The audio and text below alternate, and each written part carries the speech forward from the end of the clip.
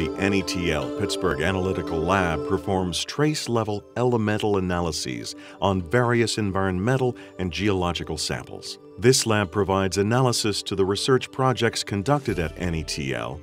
Laboratory analysis and chemical testing can take from one minute to a few months depending on type and depth required. Another important factor is the accuracy required for an analysis or chemical test. This often affects time and cost.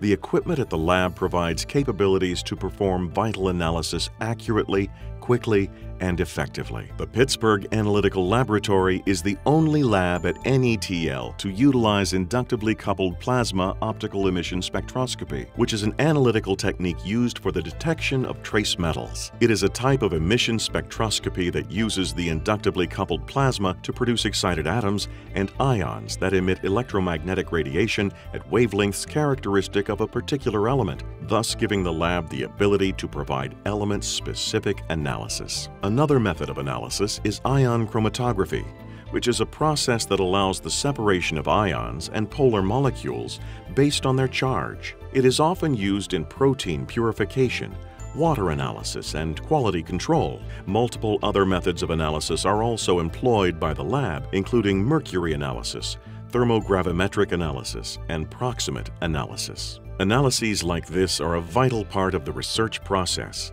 and the Pittsburgh Analytical Lab provides data necessary for insight and innovation.